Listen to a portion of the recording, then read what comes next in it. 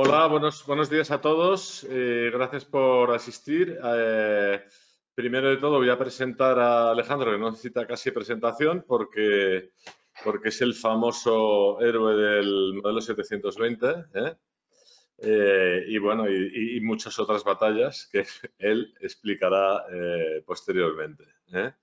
Alejandro, como sabéis, es un abogado y asesor fiscal con sede en Palma de Mallorca eh, que fue pues, indignado por una serie de clientes que se habían eh, decidido mm, por este follón, sobre todo no residentes, irse del país, eh, pues poner, se dio cuenta de la ilegalidad del modelo 720 y lo puso en conocimiento del organismo comunitario correspondiente, que era la Comisión Europea, que tras mucho, mucho, mucho tiempo, mucho más de lo habitual, acabó declarando la ilegalidad del mismo.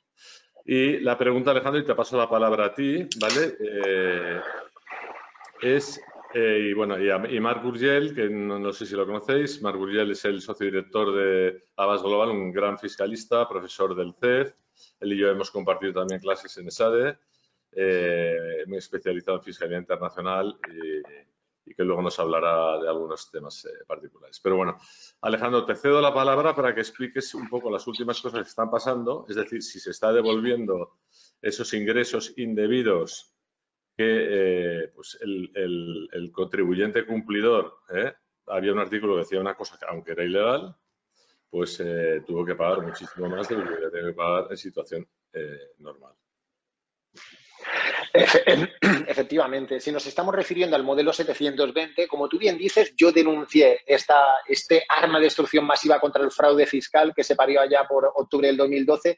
Yo denuncié en febrero del 2013, eh, denuncié las desproporcionadas sanciones y en particular la, la imprescriptibilidad derivada del modelo 720, de no presentarlo o no presentarlo fuera de plazo y la, nueve años después, nueve años después, eh, el Tribunal de Luxemburgo ha dictado una sentencia absolutamente demoledora. O sea, eh, ha arrasado, ha tumbado esta normativa, ha declarado que eh, las sanciones formales de 100 euros el dato o de 5 por presentar fuera de plazo o de 5.000 euros el dato por no presentarlo o hacerlo incorrectamente eh, la, imprescriptibilidad, la obligación de consignar los bienes en el extranjero como ganancias patrimoniales no justificadas, aunque procedieran de periodos más que prescritos, aunque se tratara de obligaciones tributarias muertas y enterradas, eh, eso, la imprescriptibilidad, y luego la sanción del 150% que te aplicaban de propina sobre la cuota de IRPF, todo eso se lo ha cargado el Tribunal Europeo de una manera absolutamente demoledora.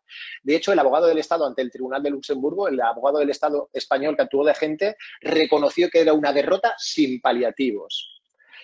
Perfecto. Yo, te digo, si la sentencia me lo hubieran dado a redactar a mí, o sea, no lo hubieran redactado de forma más contundente y, demoledora, ¿no? Entonces, eh, gracias a esa sentencia y como no puede ser de otra manera, los diferentes tribunales en aquellos procedimientos que estaban vivos de gente a los que Hacienda les aplicó estas sanciones o les exigió burradas de IRPF, en los procedimientos vivos eh, que estaban en los tribunales, que la gente había luchado, a lo mejor había tenido que soltar la pasta del IRPF o de la sanción, pues en aquellos procedimientos vivos la sentencia europea ha decantado la batalla a su favor.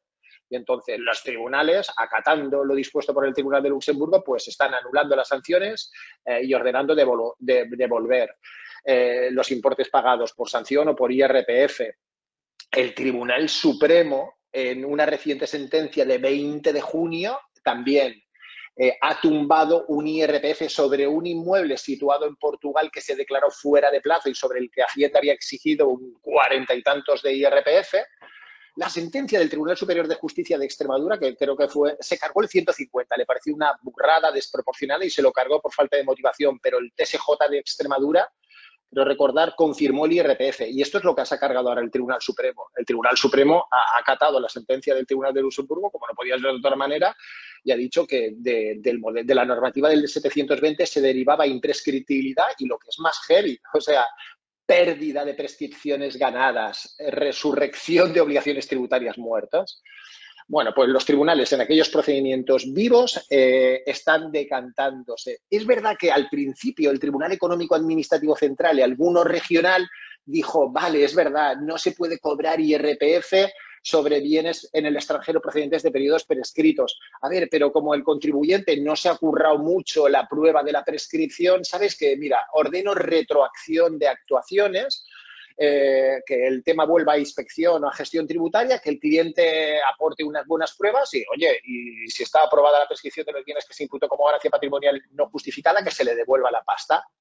Es cierto que eso está ocurriendo, que hay tribunales que ordenan retroacción de actuaciones, pero hay otros tribunales cuando el contribuyente, cuando su asesor se ha currado la prueba, eh, los tribunales económico-administrativos, yo tengo casos que he llevado del tribunal que estaban en el Tribunal Económico-Administrativo Central y en otros tribunales económico-administrativos regionales, que toda la prueba que yo aporté ante gestión tributaria eh, y ante inspección, pues eh, el tribunal, esos tribunales económico-administrativos la han analizado y han validado la prescripción que yo había alegado, con lo cual de esas resoluciones se van a derivar devoluciones importantes de lo que pagó el cliente eh, de lo que pagó el cliente y con intereses de demora el 3,75% de interés. Se van a derivar cantidades millonarias. De hecho, un cliente, porque hay otros procedimientos no iniciados por Hacienda, sino que contribuyentes que, asustados por el modelo 720, de, por ese arma de destrucción masiva, que voluntariamente eh, regularizaron su situación, se imputaron sus bienes en el extranjero pagando auténticas burradas de IRPF, de cientos de miles de euros y de muchos millones de euros.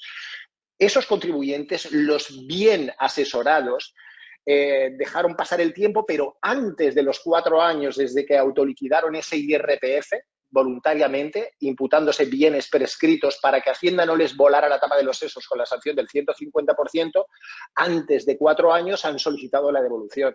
Pues bien, en un caso en que hice eso, o sea, un cliente que pagó hace casi cuatro años, yo le pedí in extremis la devolución de muchos cientos de miles de euros, muchos cientos de miles de euros.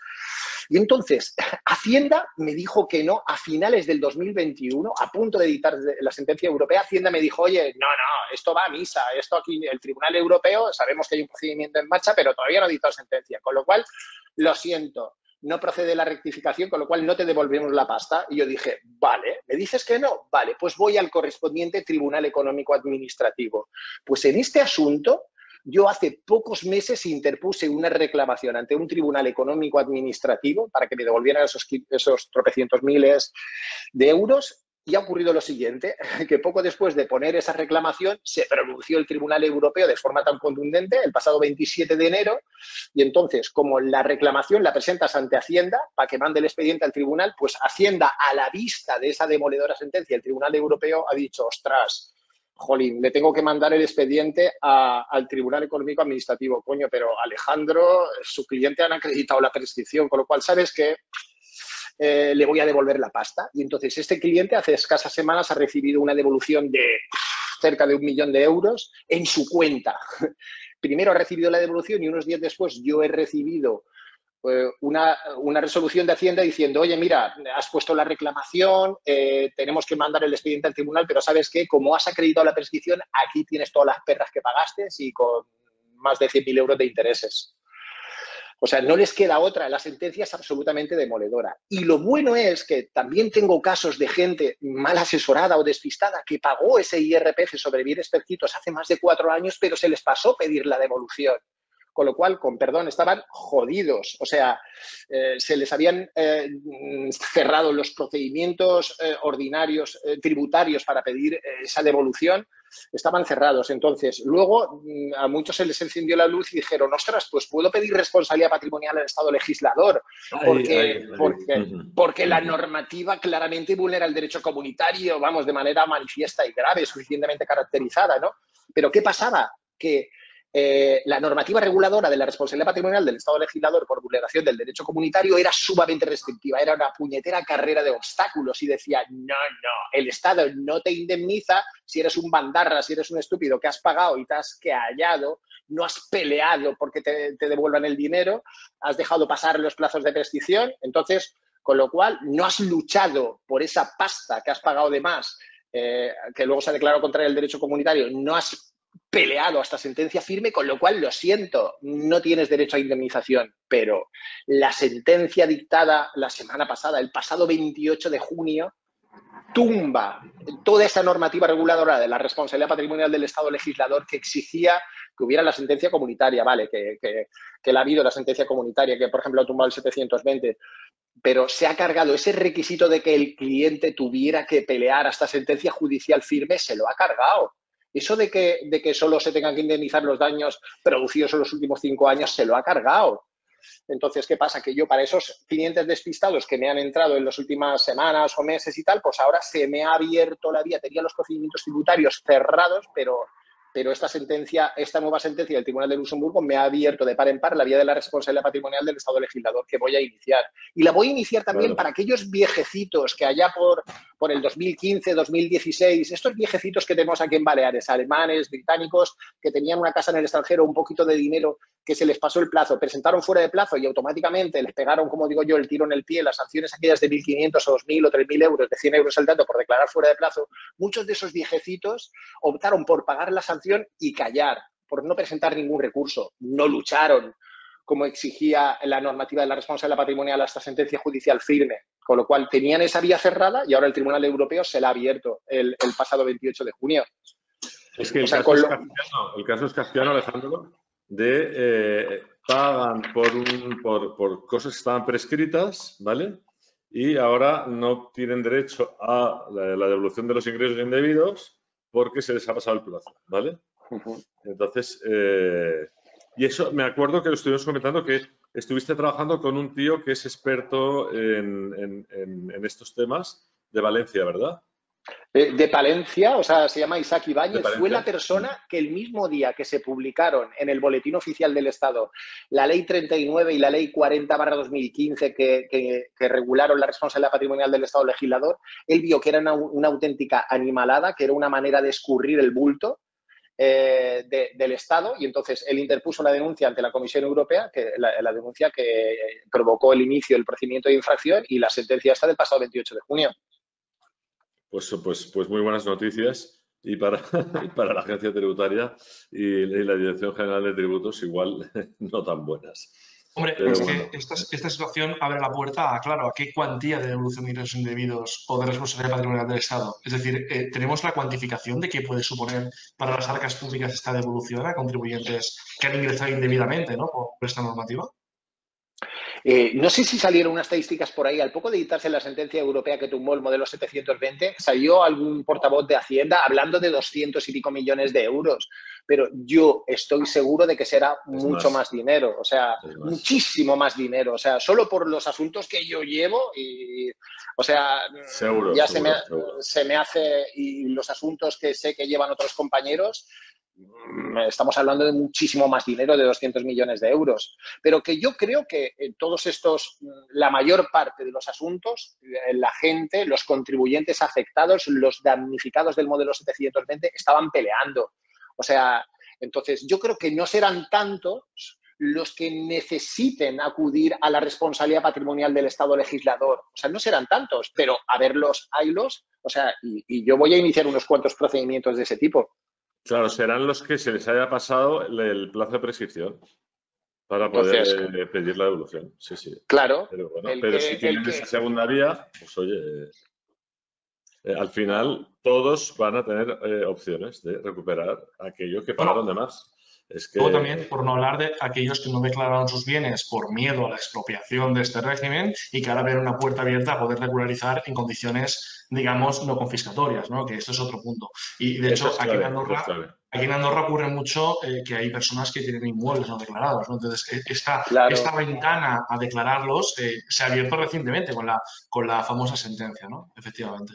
No, no, totalmente. Ahora ya puedes regularizar, salir, como digo yo, de la trinchera tranquilamente diciendo, eh, Hacienda, mira, me sabe mal, pero ostras, yo tengo un inmueble ahí en Andorra y aquí está. O sea, pero, eh, Santarita, Santarita, una prescripción ganada no se quita, eh. Lo tengo hace más de. O sea, la clave de la sentencia europea es que eh, tú puedas acreditar, o sea, que en el momento, o sea, esa normativa que entró en vigor al finales del 2012 no interrumpió en modo alguno la prescripción o sea, como el Tribunal Europeo se la ha cargado de raíz, o sea, desde que la parieron, o sea, la gente ha seguido pasando los meses y los años y, la gente ha ido ganando prescripciones, o sea, con lo cual el que a fecha de ahora, hace más de cuatro o cinco años, que puede acreditar que tenía la pasta en Andorra, en Suiza, o el inmueble en Andorra, en Suiza, o donde sea, o sea, eso ha ganado una prescripción, tiene una prescripción consumada que no le pueden quitar. O sea, como mucho le pueden pedir cuentas, oye, lo tenías que haber metido en tu impuesto de patrimonio español de los últimos cuatro años.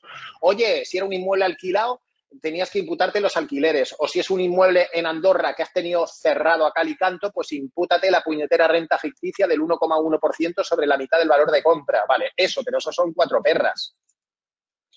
Claro, yo, por mi experiencia, a nivel cuentas financieras no tanto, porque con todo el tema de CRS, el intercambio es automático y es más difícil, eso ya hubo toda una ola de regularizaciones hace unos años, pero a nivel inmobiliario sí que, sí que me consta que hay bastantes, bastantes inmuebles que, estaban esperando precisamente este momento para proceder a una regularización de, los bienes, ¿no? Claro. Sí, totalmente. Pues, y Alejandro, pero aparte de todos, eh, a nivel efectivo, pues siempre hubo el que... Eh, el, recalcitrante, como le digo yo, ¿vale? Que ya sabéis lo que pasa en Estados Unidos, ¿vale? Estados Unidos tiene un sistema que eh, él recibe, pero se ha dedicado a no dar, ¿vale? alguno que esté por ahí, pues, eh, lo tiene más fácil para lograr, la verdad. Oye, pues ha, habido una cosa que ha pasado bastante desapercibida, pero que en mi opinión tiene mucha importancia y es la siguiente. Veréis, el modelo 720 llegó al Tribunal de Luxemburgo por tres días. O sea, por el recurso interpuesto por la Comisión Europea a raíz de mi denuncia, llegó ahí y la Comisión Europea inició lo que se llama un recurso por incumplimiento del derecho comunitario, vale. Pero en los últimos años eh, el Tribunal Super, pero claro, había la duda, hasta que se editó la sentencia, había la duda, uy, a ver, según lo que diga la sentencia, o, y más después de lo que dijo aquel tipo del abogado general del Tribunal de Luxemburgo, que no veía mal la imprescriptibilidad si España no tenía suficiente información, toma ya, aquella parida que dijo el abogado general del Tribunal Europeo, que al final el Tribunal Europeo no le ha hecho ni puñetero caso. Entonces, había la duda de que según lo que dijera el Tribunal Europeo, por ejemplo, instancias de ese abogado general, había la duda de decir, bueno, pues aquel que pueda demostrar que tiene la pasta en la Unión Europea está salvado. Ese ha seguido eh, eh, ganando prescripciones y no le podemos machacar. Pero aquel que tenga la pasta en un estado extracomunitario como Andorra o como Suiza o como Panamá o Gibraltar, a este lo destrozamos, ¿no? O sea, yo siempre supe que no iba a ocurrir eso, porque la principal libertad comunitaria vulnerada por el 720, la libre circulación de capitales, que no solo es entre Estados miembros, sino también Estados miembros y terceros estados. Pero yo siempre estuve tranquilo porque pensé que el Tribunal Europeo, en ese recurso de la Comisión Europea, se pronunciaría salvando también a los bienes en el extranjero en países extracomunitarios, como es el caso de Andorra, pero por si acaso teníamos eh, un par de balas más en la recámara, y es que el Tribunal Superior de Justicia de Cataluña, en, en, asuntos de gente que tenía el dinero en Andorra, gente que regularizó pastón que tenía en Andorra y que luego le pidió devolución a Hacienda, Hacienda les mandó a la mierda, fueron al Tribunal Superior de Justicia de Cataluña, le dijeron, oye, digamos, esto es un dinero prescrito, ¿verdad que lo tenemos en Andorra? ¿Sabes? Eh, pero oye, no pasa nada porque lo tengamos en Andorra, ¿no? País extracomunitario. Y entonces el Tribunal Superior de Justicia de Cataluña elevó dos cuestiones prejudiciales al Tribunal Europeo que estaban ahí en la recámara. Entonces, mm, para que si el Tribunal Europeo se pronunciaba en términos así muy likes eh, a favor de España, que salvando solo a los bienes en países comunitarios, pues eh, sería absolutamente fundamental saber lo que diría el, el Tribunal Europeo en estas dos cuestiones perjudiciales. Pues bien, al poco de dictarse la sentencia del 27 de enero, eh, el Tribunal Europeo dictó dos autos donde ya se quitaba de encima aquellas cuestiones prejudiciales. Dijo, eh, como el Tribunal Europeo ya se ha pronunciado, como se ha pronunciado, esto ya no tiene ningún sentido. O sea, con lo cual, no, ha no han tenido que dictarse sentencias por el Tribunal Europeo en aquellos dos asuntos referidos precisamente a bienes en Andorra. No ha sido necesario porque la sentencia del 27 de enero es absolutamente demoledora y salva también bienes en países extracomunitarios. No sé qué, problema tiene España con los extracomunitarios. ¿eh? Tenemos un, maltrato en, muchas facetas. ¿eh? No sé cómo eh, en ISD parece que está bastante más claro. En patrimonio, ¿hay alguna novedad al respecto? ¿También nos asimilan a comunitarios o aún está abierto el asunto? Bueno, fijaos. Entonces, justamente mm, hace poco, la ley 11 barra 2021 ha corregido a nivel legal la discriminación de extracomunitarios en sucesiones y ha corregido eh, la discriminación de, de extracomunitarios en el impuesto de patrimonio. Es decir, una persona residente en Suiza o en Andorra que tenga la mayor parte de su patrimonio español en Madrid, ahora, desde la ley 11 barra 2021, de julio del 2021, le dejan aplicar la normativa madrileña y no pagar patrimonio. Hasta, es decir, fijaos, con esa ley se ha corregido a nivel legal, porque a nivel jurisprudencial, la discriminación en sucesiones de extracomunitario ya se le había cargado el Tribunal Supremo en sentencias de febrero y marzo del 2018. Entonces, gracias a esas sentencias del Supremo, Hacienda asumió la primacía del derecho comunitario, asumió esa jurisprudencia y Hacienda en consultas de tributos, un par de ellas referidas a, residentes en Andorra, dijo, hostia, pues a los andorranos y a los extracomunitarios no les podemos putear en sucesiones. Pero desde febrero marzo del 2018 hasta julio del 2021 la ley decía lo contrario.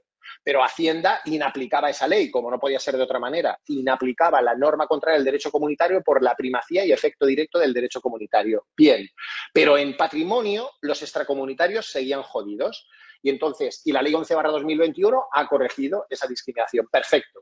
Pero ahora nos queda otra puñetera discriminación absurda e injusta y es que una persona residente en Andorra que tiene un inmueble alquilado en España, en Madrid o en Cataluña o aquí en Baleares, de forma absolutamente incomprensible, le siguen tratando de una manera brutal. O sea, resulta que un residente en Alemania que tiene la casita aquí en Mallorca, si la alquila, le cobran el 19% del impuesto sobre la renta de los residentes, pero sobre el rendimiento neto, ingresos menos gastos, 19%.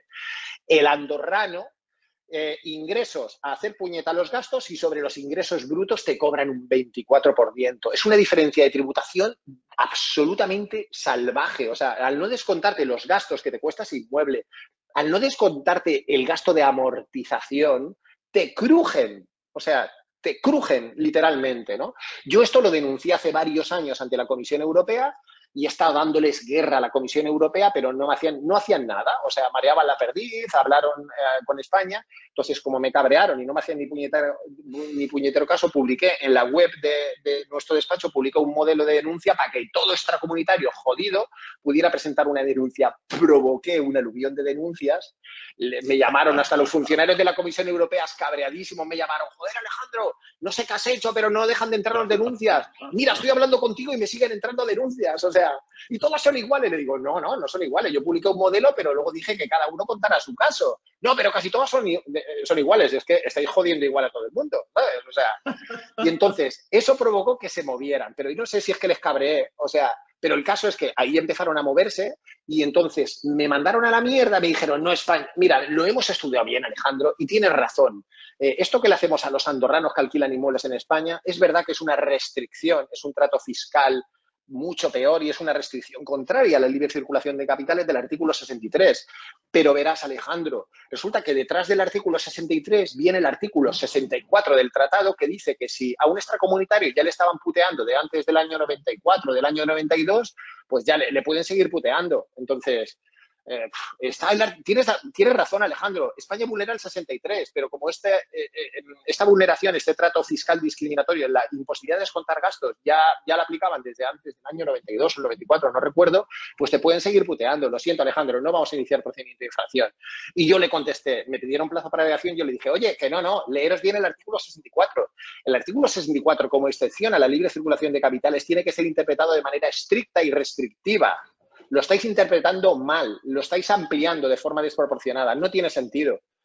Entonces, nada, nada, déjate de rollos, Alejandro. Así, con buenas palabras, me mandaron a la mierda. Y decidieron archivar mi, denuncia y las tropecientas mil denuncias que le habían entrado, ¿no? De, de, afectados, de damnificados. Bueno, lo bueno es que yo tenía un procedimiento en marcha de, precisamente de una persona residente en Andorra con inmuebles alquilados en Cataluña me entró un asunto de una persona que le estaban crujiendo, que llevaban varios años crujiéndole el 24% sobre el alquiler bruto. Y entonces esta persona solicitó la devolución de lo que había pagado en los últimos cuatro años, Hacienda le mandó la mierda, entonces interpuso un recurso ante el Tribunal Económico Administrativo Central y me dice, Alejandro, que no me han contestado. Yo le dije, déjame que te lleve el asunto, te lo llevo gratis, ¿sabes? Entonces, tenemos que llegar lo antes posible a los tribunales españoles, o sea, para acabar con esta discriminación. Entonces, Y este hombre me dejó, como ya llevaba más de un año en el Tribunal Económico Administrativo Central sin contestarle, lo bueno es que ahora yo he podido presentar un recurso contencioso administrativo ante la Audiencia Nacional y yo le he dicho a la Audiencia Nacional, mira, esta discriminación es una burrada, la imposibilidad de descontar gastos. Y luego ya de paso me he venido arriba y entonces también he cuestionado por qué a los residentes en España en el IRPF cuando alquilan viviendas le dejan descontar ingresos menos gastos y un 60%. Y sin embargo, a, cualquier comunitario o extracomunitario no le dejan descontar ese 60% por el arrendamiento de viviendas. Entonces, ante la Audiencia Nacional yo he atacado las dos cosas. El peor trato de los extracomunitarios y la imposibilidad de descontarse el 60% del arrendamiento de viviendas. Es que el tema del 60% aún puedo entender que es una deducción que se aplica a residentes, pero eh, el, tema del que, habla el artículo de gastos relacionados indisociablemente con la renta, ¿no? que se modificó en su día, eh, claro, es que al final no tiene ningún sentido, porque atenta contra el principio de capacidad económica, atenta contra todo. Es decir, no puedes deducirte amortizaciones, gastos financieros, eh, gastos de mantenimiento y conservación del inmueble. Entonces, yo tengo muchos casos de clientes con inmuebles arrendados. A ver, cuando son unos cuantos inmuebles, si me puedes crear una, sociedad y entonces a través de la sociedad te deduce los gastos, ¿no? Pero cuando son uno o dos inmuebles, crear una estructura societaria no tiene sentido, ¿no? Y además que te dirán que lo has interpuesto de forma, de forma como una simulación, ¿no? Entonces, sí, que consideramos una discriminación muy, muy importante. Al margen de 720 ISD patrimonio y diseminación de, arrendamientos de no residentes extracomunitarios. ¿Algún otro gran elefante que tú estés viendo actualmente que, pueda ser un caballo de batalla? Eh, ahora la verdad es que no se me ocurre ninguno. O sea, Alejandro, el tema de, tu caso real, que obviamente con la confidencialidad y tal, de surrealista, ¿vale? El tema del límite conjunto a renta patrimonio. Sí, pero ahí ya estamos hablando de, residentes, ¿no? O sea, ahí estamos hablando de residentes. Mira, residentes, sí, sí. Yo acabo, mira, acabo de recibir a unos clientes que vienen de un país extracomunitario que se plantean hacerse residentes aquí, ¿no? Entonces, y el problema es eso cuando les dices, a ver, chaval, hacerte residente fiscal en España implica tributar por rentas mundiales, por patrimonio mundial. Somos de los pocos países gilipollas que mantenemos el impuesto de patrimonio y además con tipos absolutamente salvajes, que además en Baleares los tenemos incrementados, o sea, a lo bestia del 0,28 al, al 3,45%, o sea, tarifas absolutamente absurdas. Eh, entonces tributas por renta mundial, patrimonio mundial, por cualquier herencia o donación que recibas en cualquier lugar del mundo, ¿no? Y entonces, por ejemplo, a esta persona le he explicado que eh, en España, pues cuando te vienes, vale, tributas rentas mundiales y eh, las rentas, vale, pues eh, la renta del ahorro va del 19 al 26%, alquileres y rentas del trabajo profesionales y tal, el 40 y tantos por ciento, vale. Hasta ahí, la gente que se plantea hacerse residente, eso no lo ve tampoco tan mal. Ah, más o menos lo que yo estoy pagando fuera, vale. Pero le digo, pero espera un momentillo, chaval, ¿cuánto tienes? ¿Cuál es tu patrimonio mundial? Hostia, entonces la gente cuando me empiezan a relatar todos los bienes que tienen en el extranjero, que si criptomonedas, que si inversiones financieras, que si seguros y tal, entonces, eh, digo, a ver, cuando ya van por 5, 6, 7, 8, 10 millones de euros, le digo, ostras, lo siento, chaval, no te puedes venir a España. O sea, eh, porque es que en España te van a crujir, te van a cobrar hasta el 3,45% de esto. Vale que luego, como a este cliente que he recibido hace, hace un par de horas, les digo, a ver, lo bueno es que hay un artículo 31, el artículo 31 de la ley del impuesto de patrimonio español, a los residentes le dice, a ver, chaval, no te preocupes, entre lo que te cobremos de renta más lo que te cobramos de patrimonio, no nos podemos comer más del 60% de tus rentas. Bueno, a ver, las ganancias patrimoniales no especulativas de más de un año, esas para ti, todas para ti. Eh, no, no, nos comemos el 60%, pero todo lo que sean intereses, dividendos, alquileres y tal, no nos podemos comer más del 60%. Entonces, si nos comemos más del 60%, entonces te aplicamos una rebaja de la cuota de patrimonio para comernos solo al 60%, que tampoco está tan mal, ¿no? Entonces, vale, pues, pues mira, a este cliente le he hecho cuatro números y esta a lo mejor puede jugar con colocar sus inversiones financieras en productos de, ahorro, eh, de, acumulación, fondos de inversión para no generar rentas cada año y entonces así le salía una cuota de patrimonio de 120 y tantos mil euros a palo seco. Pero si mantenía a raya sus rentas, le podían rebajar la cuota de patrimonio y se le quedaba en veintitantos mil euros, en 23 o 24 mil euros, que a lo mejor ya sí se viene por eso, ¿no? Entonces, eh, entonces, esa rebaja de la cuota de patrimonio, pero la rebaja máxima que te aplican es de un 80%. Si eres un pobre desgraciado que no genera rentas o solo te apañas para generar solo ganancias patrimoniales, te dicen, eh, chaval, de los 120 y tantos mil euros que te salen aplicando la tarifa, te dejo como máximo descontar un 80% y te clavamos veintitantos mil, eso fijo, ¿eh? Y entonces, ese 20% que como mínimo te cobran, joder, a veces se come el 70, el 80, el 90% de tus rentas. Y eso es una putada. Eh, y luego también lo que tú decías, José María, que en los últimos años ha habido comunidades autónomas que han atacado es por los elementos improductivos. Si entre tu patrimonio mundial, español o fuera, resulta que tienes elementos que ellos les dé por calificar como improductivos, solares, dicen que el suelo no edificado, es un, si no lo alquilas de vez en cuando, aunque sea para un aparcamiento, para una valla publicitaria, eso es un puñetero elemento improductivo. Incluso haciendas autonómicas han declarado que la vivienda habitual joder, si eres un recachón que tienes una vivienda habitual de más de 300.000 pavos, 300.000 es el importe exento de vivienda habitual. Pero, joder, si eres un listillo que tiene una vivienda de un millón de euros, los primeros 300.000 euros eh, están exentos, pero luego de 300.000 a un millón, eso también algunas haciendas autonómicas consideran que es un elemento improductivo y de ahí no hay rebaja. O sea, de ahí no hay rebaja eh, sobre la cuota de patrimonio, con lo cual puede que la cuota de patrimonio ya, sin esa rebaja por culpa de solares o de vivienda habitual, se te vaya al 70, al 80, al 90, o yo tengo casos que ha llegado al 200% de las rentas del contribuyente en cada ejercicio. Eso es un asunto que estoy peleando en el Tribunal Superior de Justicia de Baleares. Caso, caso kafkiano, kafkiano. caso real. O sea, eh, una señora, y además lo que más me jode es que hay haciendas autonómicas que en lugar de ir a buscar a la gente obligada a presentar declaración de patrimonio y no la presenta, que haya así, o sea, resulta que a los que están cumpliendo y pagando cada año 30, 40, 50 mil euros de patrimonio, no les basta, a esto les dicen, ven para acá, vamos a ver si le podemos sacar más cuartos.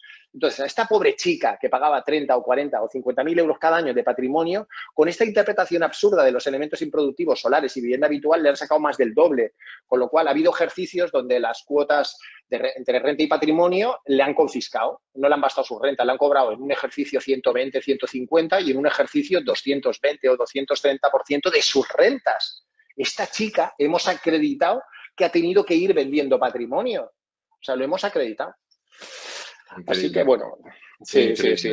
Estas son las animaladas que estoy viendo por aquí, pero bueno, ahora acaba de salir una consulta que para leer la tela, o sea, yo la he mandado a, inspectores, a sabios y tal, y casi todos, así de entrada, cuando le echaron un primer vistazo, dijeron, ¿qué coño dice esto? O sea, el tema de la vivienda es una consulta de tributos de hace poquísimo, de hace un par de meses, que se explica como el culo, pero viene a reconocer que mm, le cuesta reconocerlo y por eso lo dice tan mal. Viene a decir en mi opinión, que la vivienda habitual, que no es elemento improductivo. Como hasta hace poco declaraba la Hacienda de Baleares o la Hacienda de Andalucía, bueno, la vivienda habitual, aunque no genere rentas, aunque no genere la imputación de la renta ficticia del 1,1%, aunque no la alquiles de vez en cuando, en verano y tal, venga, venga, no es vivienda habitual.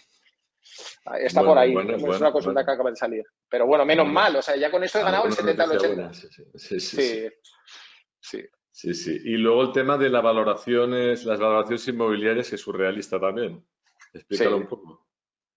No, el tema de los valores de referencia del catastro o del desastre, como yo les llamo. O sea, esto no tiene nombre. O sea, esto como, eh, como los tribunales eh, con el Supremo a la cabeza eh, estaban tumbando todas las puñeteras comprobaciones de valores que hacían las haciendas autonómicas en herencias y en compraventas para sacar más dinero, o sea, decían, eh, que tú has comprado por 100.000, pero para nosotros esto valía 200.000, me tienes que pagar el impuesto de transmisiones sobre 200.000. Y te hacían una comprobación de valores a cada cual más chapucera o en una, en una herencia de hermanos o de tíos a sobrinos, una herencia de estas que te clavan el 10, el 20, el 30 o el 40%, tú heredabas, declaras un valor para el inmueble de 200 y te venían las haciendas autonómicas, oye, tío, que, has puesto muy poco, que para nosotros esto vale el doble, 300, y te crujían o bien con el impuesto de transmisiones, si era una compraventa, o bien con el impuesto de sucesiones o el de donaciones, ¿no? si era una transmisión lucrativa. ¿no?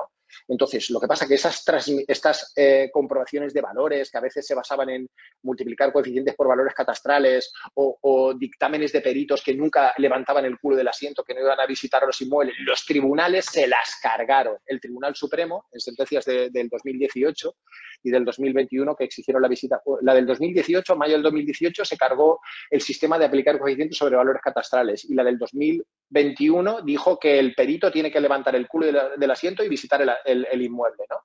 Entonces, claro, como el Tribunal Supremo se le había puesto tan chungo a las haciendas autonómicas, pues viene el legislador y la ley 11 2021, la ley de antifraude esta, pues dice, mira, ¿sabes qué? Mira, ahora la base imponible mínima va a ser el valor de mercado este, el valor de referencia que cada año fija el catastro, este te lo comes con patatas. Como mínimo tienes que declarar esto, como mínimo tienes que soltar los cuartos y pagar esto en cualquier compraventa o cualquier una herencia. Y luego te invierten la carga de la prueba, o sea, y si no estás de acuerdo, si crees que ese valor que ha fijado el catastro es excesivo, tú primero suelta los cuartos y luego te damos cuatro añitos para que solicites rectificación de autoliquidación, para que nos acredites gastándote los cuartos en un abogado y en un perito para que te gaste los cuartos y nos sí, a ver si tienes cojones y valor y te los quieres gastar, para que nos acredites que, que, el catastro se ha pasado y que te tenemos que devolver pasta. O sea, pero es una inversión total de la carga de la prueba. No, y además, y además es abusivo para, perfiles de renta bajos. Es decir, un perfil de renta alto que tiene una diferencia significativa puede contratar a un abogado y defenderse y, un buen abogado y probablemente ganará. Pero un perfil de renta baja quizá le cuesta más el abogado y el perito que la propia rectificación del impuesto. Entonces, es absolutamente abusivo y, además regresivo desde el punto de vista eh, fiscal y recaudatorio, ¿no? Totalmente. Eh, uno de los primeros casos que me han entrado es una, una señora que compró una vivienda por 195.000, precio real indiscutible. Una vivienda que estaba en bastante mal estado, 195.000 euros. Entonces, aquí en Baleares, los primeros 400.000 van al 8%, pero si es una vivienda de menos de 200.000 euros, puedes pagar, y va a ser tu vivienda habitual, 200.000 euros y vivienda habitual, puedes pagar el 5%. Entonces, esta señora se hizo la ilusión eh, de poder pagar el 5% sobre los 195.000, pero puñetas, primeros días de enero, echamos un vistazo al valor de referencia, 217.000 pavos. Con lo cual, ya es un valor de más de 200.000 y ya te hacen pagar el 8% de 217. Me dio una rabia y por eso a esta pobre señora he hecho, he hecho un pacto con ella. Mira, yo te cobro una mierda o no te cobro nada y yo te cobraré cuando te ahorre, ¿sabes? O sea, hemos tenido que gastar en un perito y yo haré un negocio para decir, mira, lo que te ahorre yo te cobraré un porcentaje, el 10 o el 15% de lo que te consigue rebajar la cuota. O sea, pero hacer que le valga la pena a una persona de ese perfil reclamar y, recuperar algo que injustamente le han reclamado. Aquí no hay dinero negro, coño. Aquí en España lo sabéis. Ahora los notarios tienen que poner con pelos y señales todos los medios de pago, de dónde ha venido la pasta. O sea, pero es que Hacienda sigue presumiendo que hay mucho defraudador suelto y sigue presumiendo, una de dos, o presume que hay mucho defraudador sueldo o presume que hay muchos gilipollas que vete demasiado barato. Y eso tampoco es cierto. Bueno, yo, creo que presume dos cosas. Una, que eh, la buena fe del obligado tributario no es una presunción, sino que es la mala fe del obligado tributario y además tiene un, afán, tiene recaudatorio. Al final, las, dos, las dos variables unidas en la misma ecuación, pues, pues Efectivamente. Invierte la carga de la prueba, la prueba diabólica, que es eh, usted es malo eh, hasta que se muestre lo contrario. Totalmente correcto. No, no, está claro que es algo que, te iba a decir, José María, que realmente ahora para hablar de cosas de Andorra, en Andorra nos aburrimos mucho más, eh, Alejandro. Eh, en, Andorra todo esto no, nos ocurre, eh, es muchísimo más sencillo todo, pero sí que tenemos clientes que tienen intereses en España ¿no? y que al final por obligación real, pues tanto el impuesto de patrimonio como, como precisamente esta revisión de los valores, todo esto les afecta, ¿no? como no residentes igualmente. Y, la verdad es que la situación es bastante grave. Es decir, la, la sensación que tiene el contribuyente en España es que le están persiguiendo, que le están machacando y que además no se respetan las garantías en en, el procedimiento. Es decir, que la inspección eh, tiene esta presunción ¿no? de, como de veracidad, como, como un agente de la autoridad, y al final ellos tiran y si después tú quieres recuperar o quieres reclamar ingresos indebidos, pues págate un abogado y pelealo. ¿no? Esa es un poco la sensación. Y, ya veremos cuánto tiempo tarda, etcétera, ¿no? Como el caso, el caso de la película aquella, del documental aquel del moroso número uno de Hacienda. ¿eh? Ah, hechos probados, es verdad. Sí, sí. sí, eh, La reflexión o la moraleja que saques de aquello es ¿Me vale la pena discutir aunque sepa que es manifiestamente injusto o me conformo? ¿Vale? Y llegar a ese nivel es que eh, es, la ruptura del Estado de Derecho y de, todo, ¿no?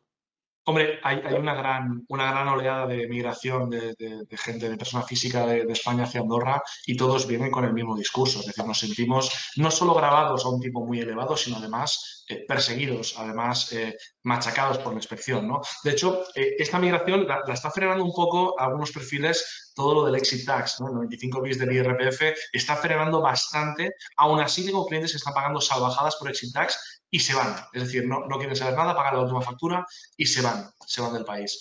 El, problema que tengo muchos están pagando exit tax, pero con la caída, con la caída de valor de sus carteras, están pagando un impuesto por, algo que ya no tienen, ¿no? Y es bastante, es bastante controvertida la situación. Sí, claro, Andorra, Andorra, al no ser de la Unión Europea, pues eh, si te vas a Portugal o te vas a tal, no pasa eso.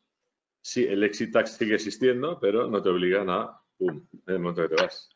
Justamente el cliente, el cliente que me ha venido me ha dicho, oye Alejandro, y si yo voy aquí haciendo inversiones y tal, estoy aquí, este que se plantea hacerse residente procedente de un país extracomunitario, eh, me decía, oye, y tal, pero luego si yo acumulo y tal, y luego me voy unos años y tal y vendo allí, le dije, eh, tenemos exit tax desde el año 2015, ¿sabes?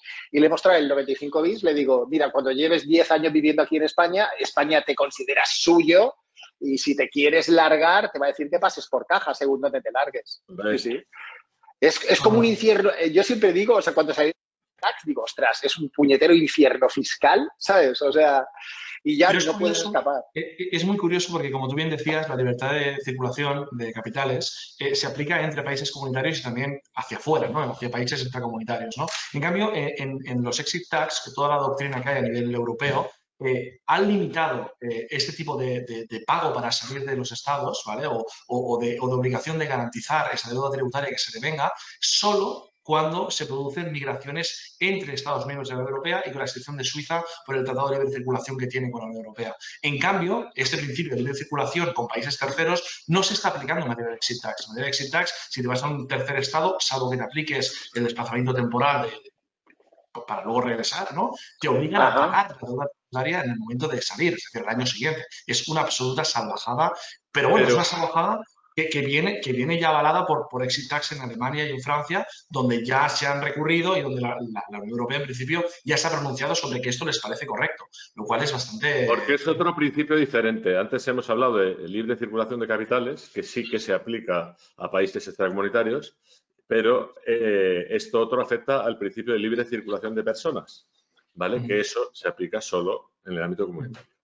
Ah, sí, por La Suiza y a Liechtenstein, que fueron listos y firmaron el acuerdo este. Y, bueno, si han dado la pues, pues, pues eh, será una gran noticia, pero bueno. Ah, ostras, tengo una cosa que contaros muy, muy curiosa respecto a este procedimiento. Estos clientes que tengo residentes en Andorra con inmuebles alquilados, que estoy luchando en la Audiencia Nacional, soy optimista por una razón. O sea, porque he interpuesto la demanda ante la Audiencia Nacional y yo he atacado con todo, ataco la, la, diferencia de trato, digo que vulnera el artículo 63 y entonces yo esperaba que la abogacía del Estado me atacaría. O sea, este procedimiento está muy avanzado. Ella ¿eh? ha hecho demanda, me han hecho contestación a la demanda, ya ha hecho conclusiones y ellos ya han hecho sus conclusiones. Ya está pendiente de votación y fallo. Y yo le he pedido a la Audiencia Nacional, mira, la Audiencia Nacional, la normativa es tan claramente contraria al derecho comunitario que tú te la puedes pasar por el forro, puedes inaplicarla y decirle a España que le devuelvan la pasta a este tío, la ha pagado de más. A ver, le he pedido, oye, devuélvele, devuélvele todo, o sea, todo lo que ha pagado de más con respecto a un residente en España. O sea, déjale descontar gastos y déjale descontar el 60%. A ver, de forma subsidiaria, eh, si no le quieres dejar descontar el 60% de, por arrendamiento de vivienda, vale, pues déjale, trátale igual que a un alemán. Permítele descontar gastos y aplica el tipo del 19. Así es como lo he planteado la Audiencia Nacional. Inaplica la, la, la norma y devuélvele la pasta a mi cliente. Eh, y de forma subsidiaria plantea una cuestión perjudicial. Oye, Audiencia Nacional, si no lo tienes claro, así como la Comisión Europea no ha querido ir al Tribunal Europeo, tú, Audiencia Nacional, le puedes preguntar al Tribunal de Luxemburgo a ver si tengo razón o no, que la tengo, ¿sabes? Entonces, está por ver, está pendiente de votación y fallo este asunto, ¿no?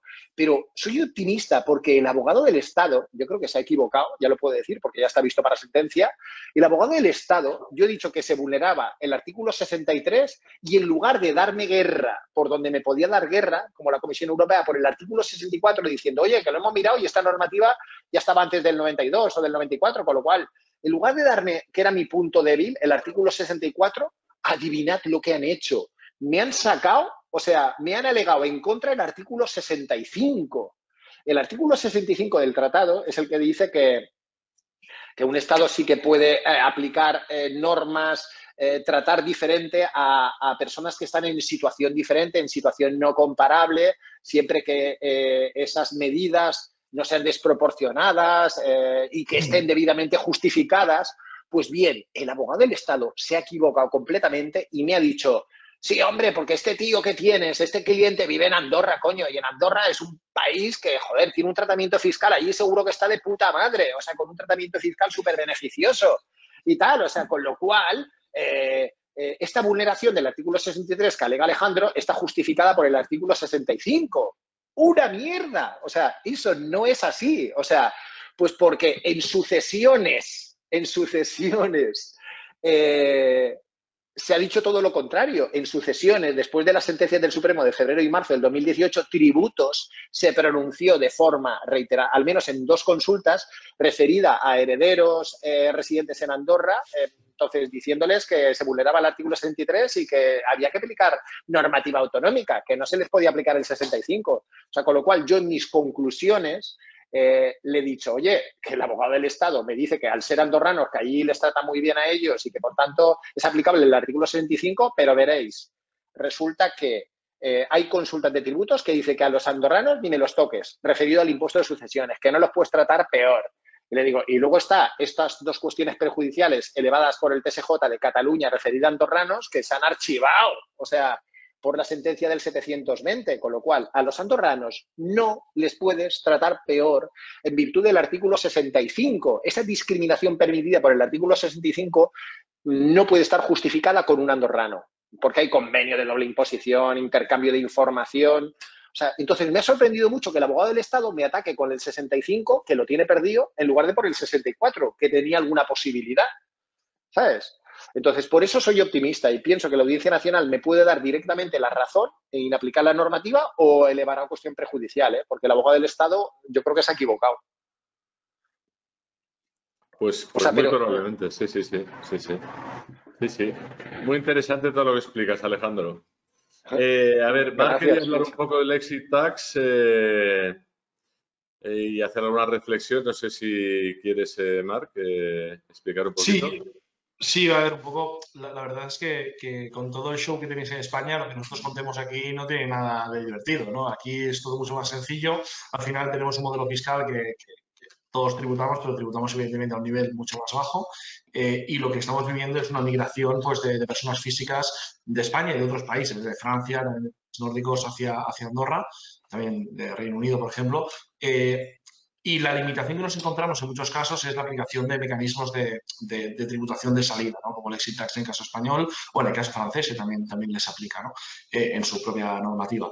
en este caso, lo que, lo que vemos es que que bueno, esto limita de forma muy significativa el desplazamiento de ciertos patrimonios, especialmente se producen situaciones tan injustas o tan, eh, tan absolutamente eh, no equitativas como la siguiente. Una persona física con 20 inmuebles en España que cambia de residencia no le aplica el exit tax. ¿Por qué? Porque los bienes inmuebles están fuera, fuera del ámbito de aplicación. Pero si esta misma persona física tiene una sociedad con 20 inmuebles dentro de la sociedad, en tanto tiene participaciones en una sociedad que vale más de un millón de euros, sí les aplica el exit tax. Entonces, son situaciones que realmente son eh, francamente eh, injustas porque el exit tax, lo que, el objetivo de este, de este impuesto ¿no? o de esta modalidad de IRPF es eh, mantener la soberanía tributaria sobre rendimientos que se han generado durante la estancia del contribuyente del territorio español. Pero cuando hablamos de inmuebles, el propio convenio entre España y Andorra ya prevé que las ganancias patrimoniales o que los rendimientos de esos inmuebles tributan en origen, tributan en fuente. Con lo cual, eh, exigir un pago anticipado eh,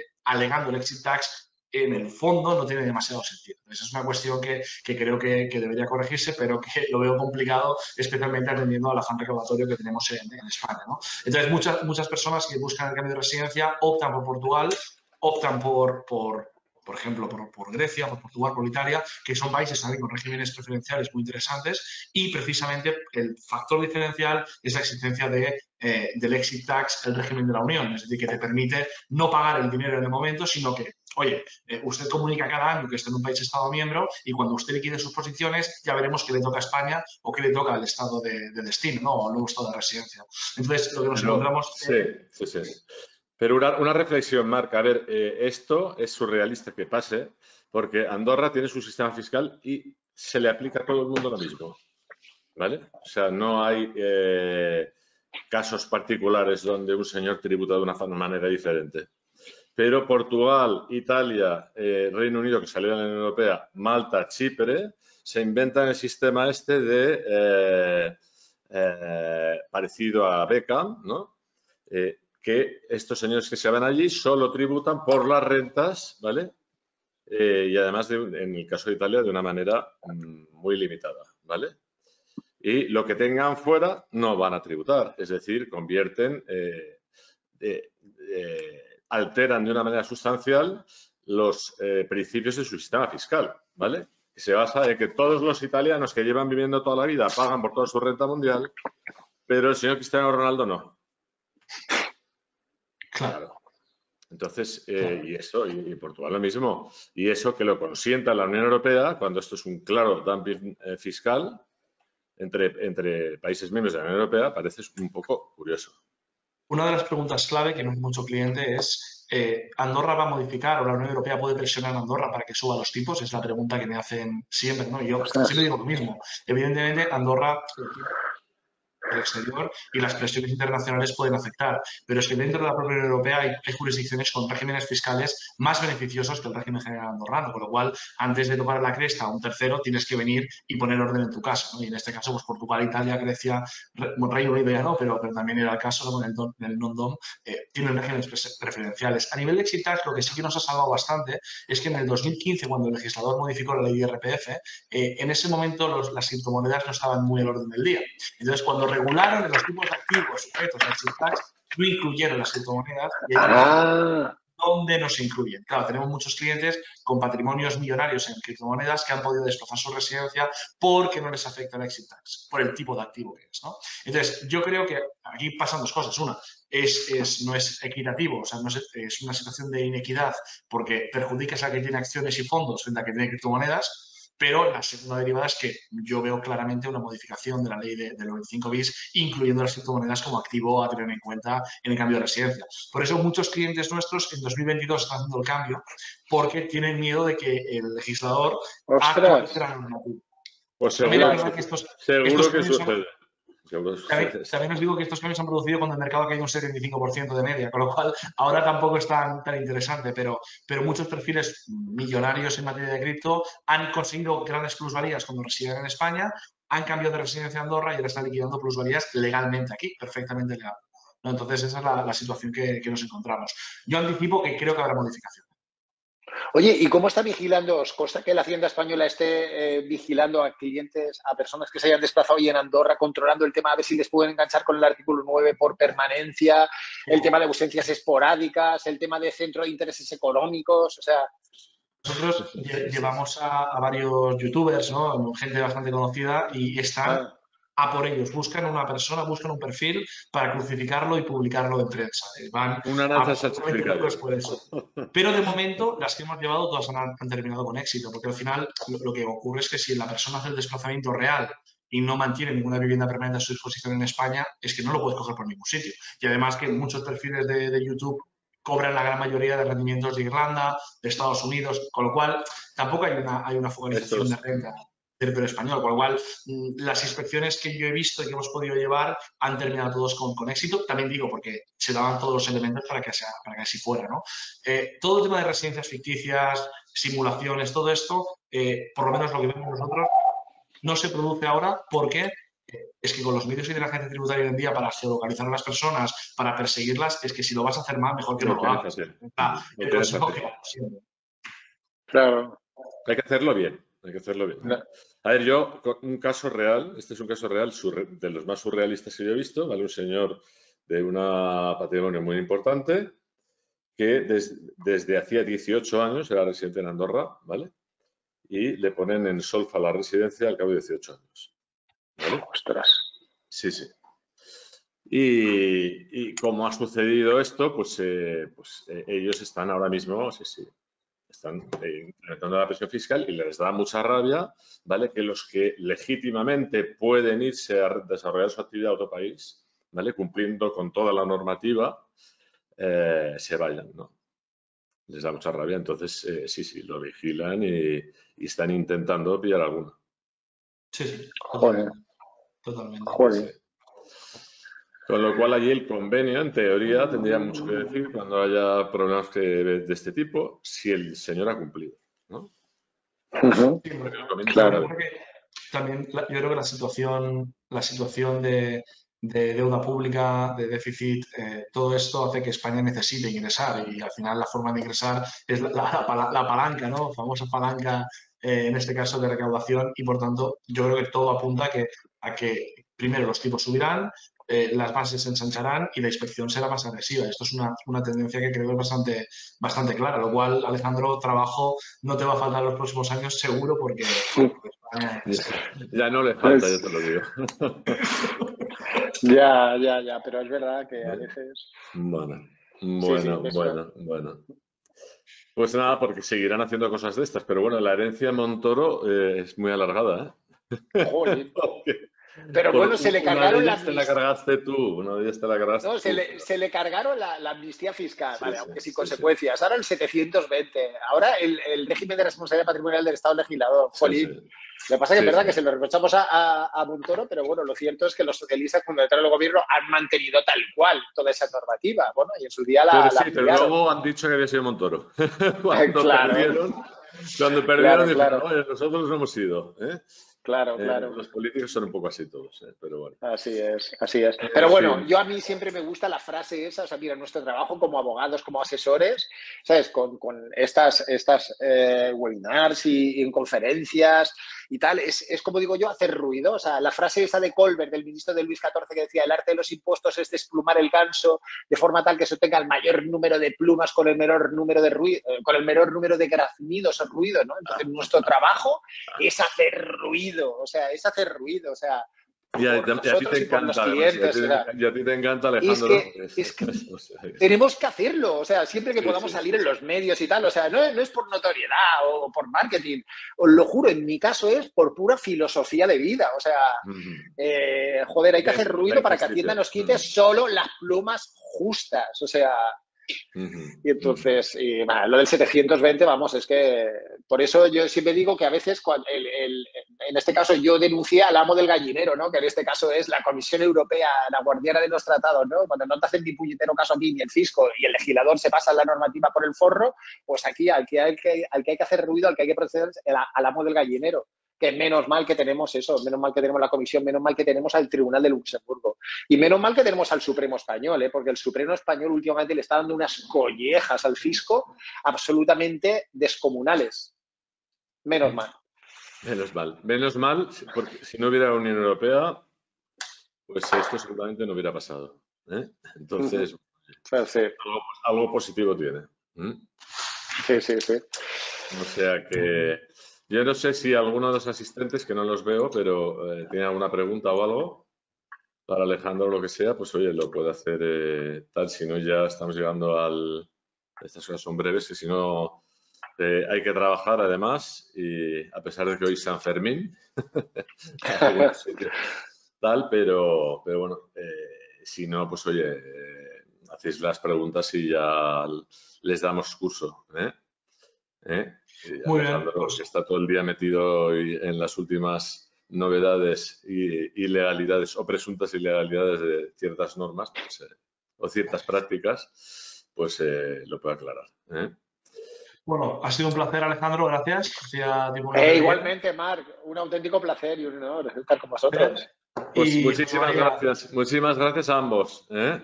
Ha sido un placer. María. Nos vemos pronto. Ya nos vemos pronto. Venga, chao. chao Alejandro, gracias. Venga, un abrazo a vosotros. Chao. Hasta luego.